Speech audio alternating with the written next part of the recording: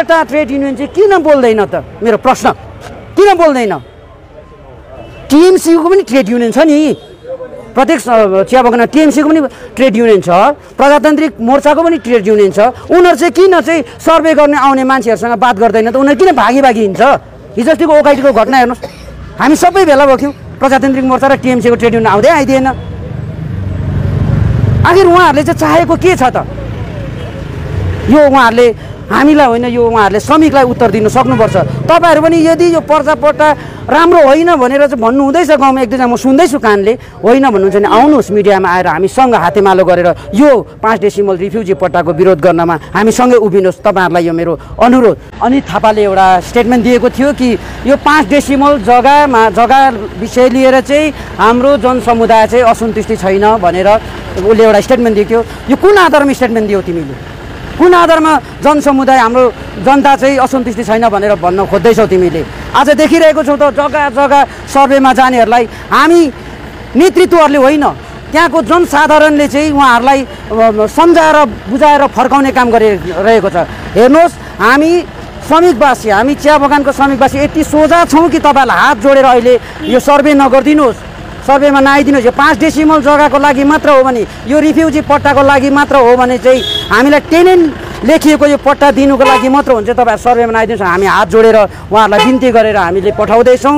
तर तपाईँहरूलाई एउटा अनुरोध पनि छ जति पनि यहाँ सर्वे गर्न आउनुहुँदैछ तपाईँहरूलाई हिजोको दिनमा हामीले हात जोडेर सम्झाएर बुझाएर पठाउँदैछौँ।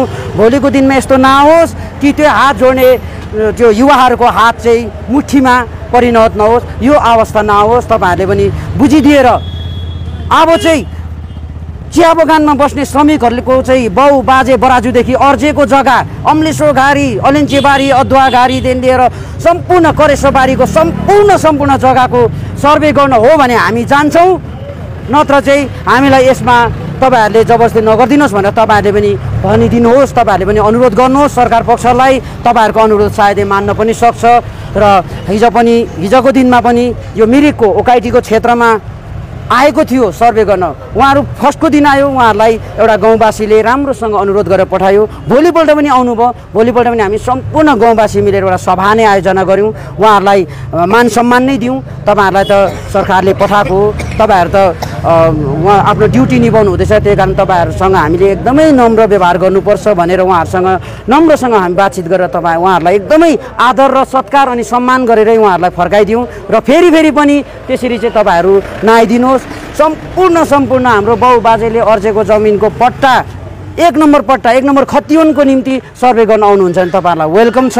तपाईँहरूलाई पनि हामी साथ दिन्छौँ। र यसरी पाँच डेसिमल त्यो रिफ्युजी पट्टाको निम्ति चाहिँ सर्वे गर्न नआइदिनुहोस्। यो हाम्रो अनुरोध। साथसाथै आज जोइन्ट फोरममा हेर्नुहोस् त सम्पूर्ण सम्पूर्ण सबै अल पार्टीको ट्रेड युनियनहरूले यसरी विरोध जनाइरहेको छ भने दुईवटा ट्रेड युनियन चाहिँ किन बोल्दैन त? मेरो प्रश्न।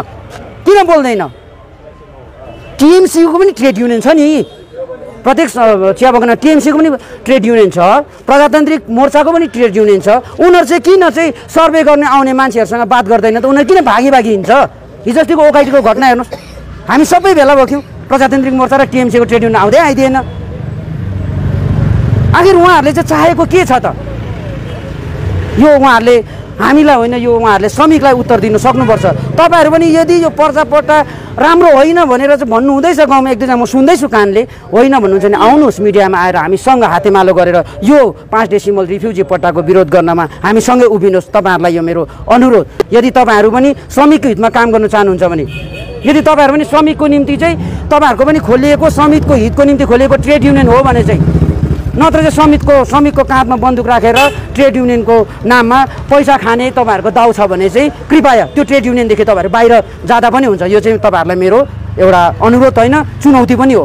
खण्ड कार्यालयतिर हामीले डेपुटेसन दिन जाँदैछौँ। हुनसक्छ भोलिको दिनमा यो सडकमा उत्रिनुपर्ने अवस्थाहरू आउँछ। त्यति बेला हामी हरेक चियाबारीको एक एकजना श्रमिकलाई उठाएर सडकमा पनि आउन आउनु परेमा हामी पछि हट्ने छैनौँ। हामी आएका हुन्छौँ श्रमिकको निम्ति बोलेका हुन्छौँ। यो मिरिक संयुक्त मञ्चबाट हाम्रो यो तपाईँहरूलाई वचन र प्रतिबद्धता जनाउँदछौँ। हामी यो जुन सोसियल मिडिया र यसरी ब्लक अफिसतिर मात्रै होइन हामी ग्राउन्ड लेभलमा गएर पनि सम्पूर्ण चिया बगानवासीहरूलाई के कस्तो लागिरहेको छ तपाईँहरूलाई यो भन्ने विषयमा हामी उहाँहरूसँग सम्पर्क गर्दाखेरि एकदमै यो पाँच डिसेम्बर जुन होमस्टे ल्यान्डको विरोधमा छ त्यसोसले यो जुन शान्ति वातावरण शान्ति पहाडमा कुनै पनि समयमा अशान्ति माहौल हुन सक्छ यसोसले हामीले बिडिओ म्याडम अनि एसडिओ डिएम सबै सबैलाई यहाँको शान्ति कायम राख्नको निम्ति बारम्बार हामीले डेपुटेसन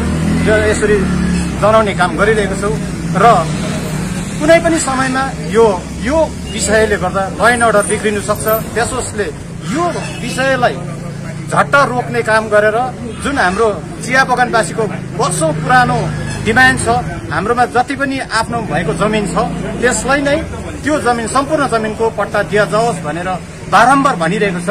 र यो जबरजस्त थोप्ने काम ले- लेन एन्ड लेडी फर्मको अधिकारी वर्गहरू जबरजस्ती विभिन्न गाउँ गाउँ विभिन्न चिया बगानतिर गएर यसरी चिया श्रमिकहरूलाई त्रासित नबनाइदिने म सिआइटीको पक्षबाट साथै जोइन्ट फोरमको पक्षबाट यहाँहरू सबैलाई अनुरोध